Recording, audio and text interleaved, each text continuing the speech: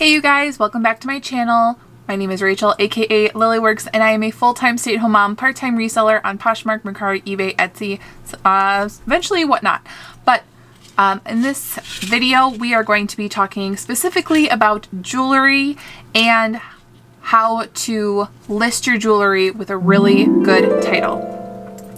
So um, I picked up some pieces from Poshmark specifically to show you guys what not to do. Honestly.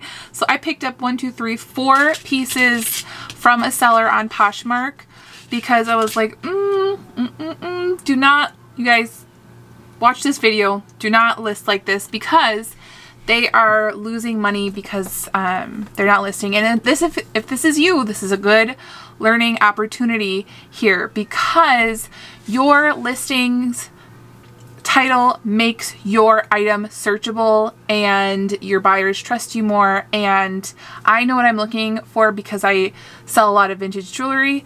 Um, so I knew what I was looking at just based off of pictures but not a lot of people do. So let me let's get into uh, the video and I'm going to show you these pieces that I snatched from Poshmark.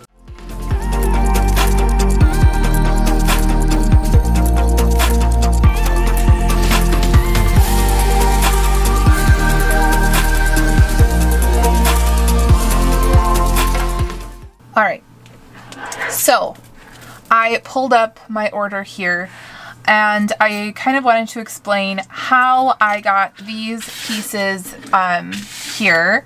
So I had these almost the exact same, well, no, the exact same earrings um, that I was listing. And as you do, you go, you take pictures of your jewelry and you Google Lens to see if there's any listings that come up as similar. So I saw this one and it came up on Poshmark and it was marked, let's see what, what she marked it as, figure eight gold post earrings for $9. And I was like, I clicked on it and I'm like, do they not even like know that they're Napier? Because these look like such nice high quality Napier earrings. And when you're doing that with costume jewelry, it's kind of almost bringing the market down. So like price them accordingly, at least 20. Like these are so nice and wearable today. These are probably 1980s with the texture and the silver, or I'm sorry, the shiny gold tone and they are a chain link dangle style with a post, clearly marked Napier. Um, so I was listing them and I was like, oh no. And like, not only that, but on the beginning of the um, listing, it said three for 15. So I decided, okay, I'm going to look at this person's closet because this person did not put name brands.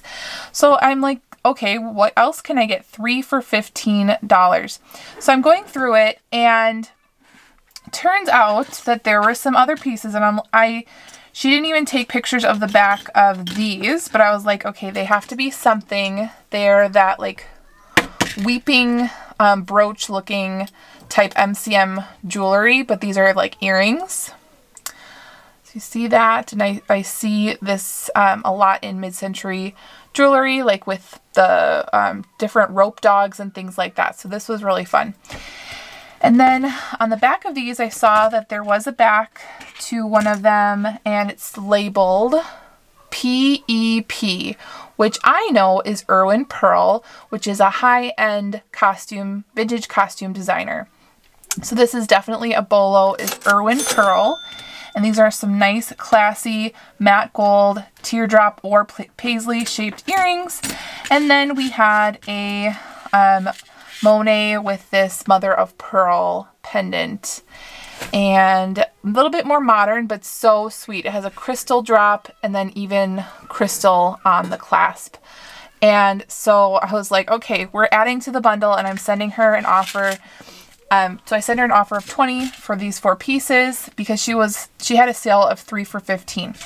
So these she had listed as teardrop gold earrings, the Erwin Pearl. Um, these are actually marked, if you guys can see it, you might be able to hear the children laughing their heads off upstairs. Um, so if you check around the post, check around the post, you guys can see that it says Monet right there around this post. The letters are going around, so that was exciting. And so these, this one just said Monet necklace. And then this one just said gold post earrings. So all in all, like these are not like crazy great reseller prices. Don't go sourcing on Poshmark for these prices, but I kind of bought them just to show you guys and make this video. And I definitely can resell these because my cost per item is with like the shipping and everything is about 750. So I'm thinking at least like 20 for each um, piece. So yes, so this person was kind of, I don't know if they even like know jewelry that well and they were just trying to get rid of it or what. But you definitely, uh, she definitely missed out on a lot of money um, by listing it this way. And then I saw other things that sold, she was selling for three, four, fifteen. And uh, let's just take a peek. I'm not going to show her name, but we're going to do go through the sold. Availability, sold items. Okay, so we have this um, 3 for 15. She did, oh, I also want to get these, but someone got them right before me. The necklace and the these two. So she had these for $5 each as well. So this this is one of those that I really like selling for like around 20 plus. It's the three strand, possibly like Hong Kong or something. And she just put um, beaded fashion necklace. So that's really hard to um, search for, honestly, like if you were looking for that necklace. And then there was these fun um, earrings.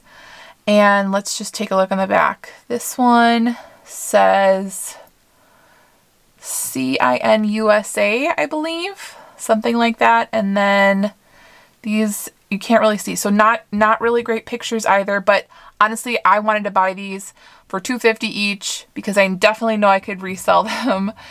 Um, though these were mine right here. Let's see what else. Okay, I don't really see a lot of other jewelry. Okay, so I hope, I hope I made a point, but now we're going to go on eBay together and we're going to take a look at some, um, we're going to look at some listings that I think could use some work and then ones that really stand out and have what I'm looking for. All right, so I'm on eBay and we're going to look at some um, listings that would catch our attention and some that might need a little help. So I'm just going to type in gold um, clip on earrings to see, like I'm just pretending I'm a buyer and we're going to see what comes up. Obviously, the first things that come up are going to be the things that are promoted, but um, we're going to just see, I'm just going to filter this by pre-owned because most of what we are selling is going to be pre-owned. And honestly, when I'm buying things for myself, I filter for pre-owned because I just trust people um, that are resellers more than I trust like sellers from China or people that are buying from Shein and flipping. Um, so let's take a peek at, all right, so this person has vintage clip-on earrings, large matte gold tone. You can see that they didn't use all of their characters. Um, a big, a bigger uh, title means they use all the characters. So let's just take a peek. Let's see if these are signed or anything and what we would add to these. So the picture itself is on green. I don't think the green looks super nice with the gold tone. It doesn't really pop. Um, you are able to see what the earrings look like um, on her finger, like the scale of them, the size of them, um, which I do like. Let's see, do we see any maker yet? I don't. So what would we add to this? Might, these might be Avon. I see like a little circle and that might be a dot in there. So know that Avon has different markings. So vintage clip-on large matte gold tone. So these are actually silver and, or I'm sorry, a shiny gold and a matte gold. What we know about this type of matte gold is a lot of that came from the 80s. So I would put in Uh, I do I do like the vintage being the first word. I might put in vintage 80s because I think 80s is a very searchable term. I might put designer style um, or wearable or something like that because somebody can wear these today and it would be like really wearable today. Um, and then matte, and then I might also put like shiny gold tone and then make um, things like that, just so I'm filling in all the characters. But when you are looking, like scrolling through eBay, um, you want to put the most important keywords of what people might look for right at the beginning. I don't think clip-on is super important. I might put that towards the end. Let's see. Vintage gold tone rhinestone brown clip on earrings. This person has better pictures. We'll just clip or click on it because I think that they probably know um, a little bit more about reselling. And also if someone has like only two or three pictures or even one, I'm just like, okay, they were, they weren't, uh, they didn't really know what they were looking at or they don't really care to spend too much time. Okay, this person has a lot of clo close-ups of the uh, jewels. Let's see. Okay, so these do look like they're unmarked. So what I would do, um, just to add more, so they also have gold tone brown clip. Well, let's see. Let's go back to the color. These um, surrounding stones, I don't think they're clear. So they could be like a citrine color um, or a light brown or like an amber tone. I can't really tell from the pictures, but I might include that. Also, these are reminding me of um, like 1950s or 1940s. Um, and they are prong set. So that would be another thing you can put in um, as keywords. All right, let's go back. Ooh, this one, this one is vintage gold tone dazzling. Dazzling isn't really searchable, but when I see that, I'm kind of like, oh, what is so dazzling? Um, so sometimes I will do that for myself. I'll put um, stunning or romantic or just like more descriptive type words. Um, vintage gold tone dazzling, purple rhinestone, screwback, clip on earrings. And then they also have right here the CJ087, which usually means their bin number, which I don't like putting in. I feel that it does take up um, character spaces. So yeah, I, again, I don't see um, any marks. And also they don't have um, any ruler or holding them or anything like that. So I would definitely include that. Joan Rivers earrings. Yes, and they have them right in the hand so you know how, how big they are.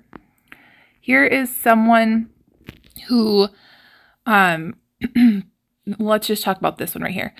Um, so this person put everything in caps, which I've heard is not the best for search, and it's also kind of aggressive um, and honestly hard to read a little bit. So what I've always done and what I've heard to do is to just capitalize the first letter and also spell out vintage because if I'm a new buyer and I'm looking for vintage 80s earrings for like a costume party or I'm just getting into jewelry, I don't know that VTG. I won't I won't type in VTG um, when I'm searching for earrings because I don't know what that means.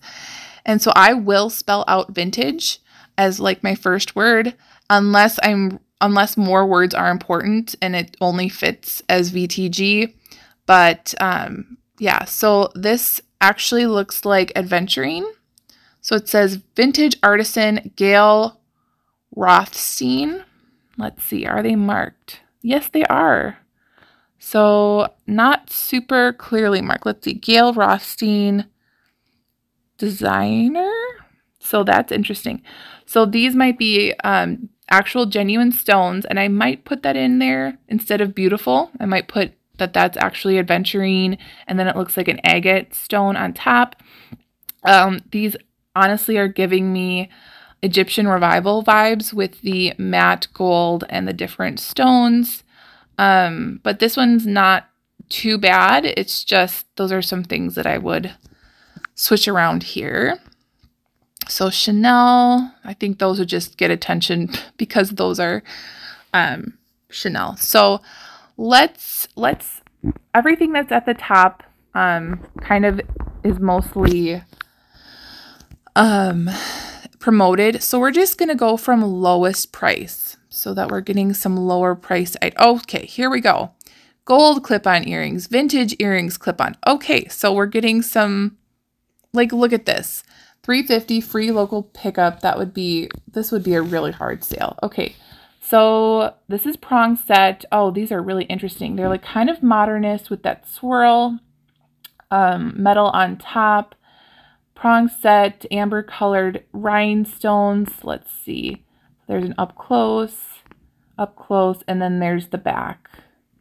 So it, again, it does look like it's unmarked, but definitely put some keywords in there like we mentioned. Um, let's see. What are these? So there's some, they have the front and the back on that one. Art Deco style. I don't know if those are super Art Deco style. Oh, okay, you guys notice that one right there? I just showed these um, Sarah Coventry earrings in one of my hauls um, that I paid $2 for these bottom earrings here. So maybe the other ones are signed. Let's see. Okay, they did say uh, Sarah Coventry in one. So two pair Art Deco. I don't know. I think these are like 1980s. So it looks like black enamel and the and the pictures are just really hard to see anything. And there's only three. So definitely make sure your pictures, you know, you can see everything in them. Like this whole like vignette thing that's around the outside of the pictures is not is not helping. It's actually hurting it because the dark and the white um, fading that's going on around the edges is making it look even more blurry. So I wouldn't even know. So let's see, $3.99 free shipping. That's basically less than what shipping would cost me. $3.99. Um, so should I even bid? Should we bid on these and get them? Um, that would basically be like $2 a piece, which is easily flippable. And then these black enamel and gold, shiny gold, um, maybe half hoops or hoops, they might be flippable. So let's place a bid. We're gonna four all right, I'm the highest bidder. Okay. Um, 1960s, interesting. Vintage gold tone and rhinestone clip-on earrings. So sometimes when it's a big rhinestone, you can call it headlight. And I do like that they are you um they're clear all the way through. So that indicates higher quality to me. So I would put bezel set because it is just set with nothing on the back. They're not foiled back because you can see all the way through. That's also making me like a little bit curious. Like, are they rock crystal? How do they know these are 1960s? The back of these don't really scream 1960s to me. So, yeah, interesting. Okay. Let's see. This person did a really great job um, describing it and using a lot of um, keywords in their listing and they do the uppercase, lowercase, vintage. I think that they, um, yeah, they really use their title effectively.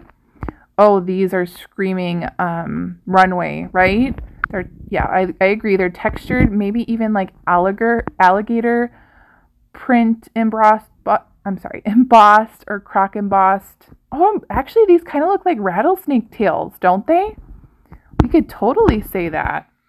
Rattlesnake tail.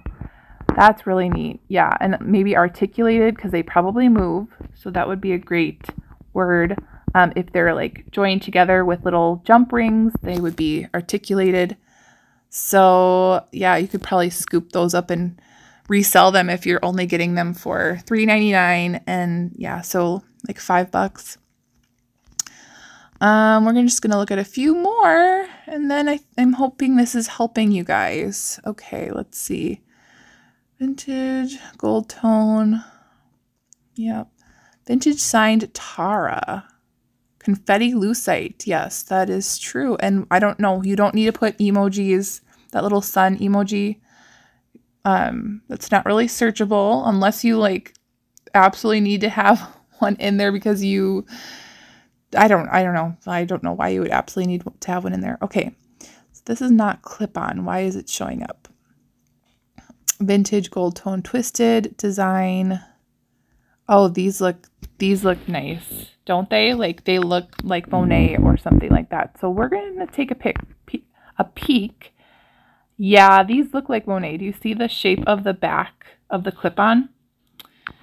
Um let's see. Yeah, very blurry. You can't see them very well. They did use um, eBay's feature where it takes out the background, but eBay's um, feature of removing the background is really not that great. It is not high quality, so I prefer to just take pictures in a light box and then retouch the picture itself um, with the white background already. So abstract design, gold tone clip-on earrings. So they didn't put vintage and they didn't put the maker, which I'm sure is um, Monet, just looking at it.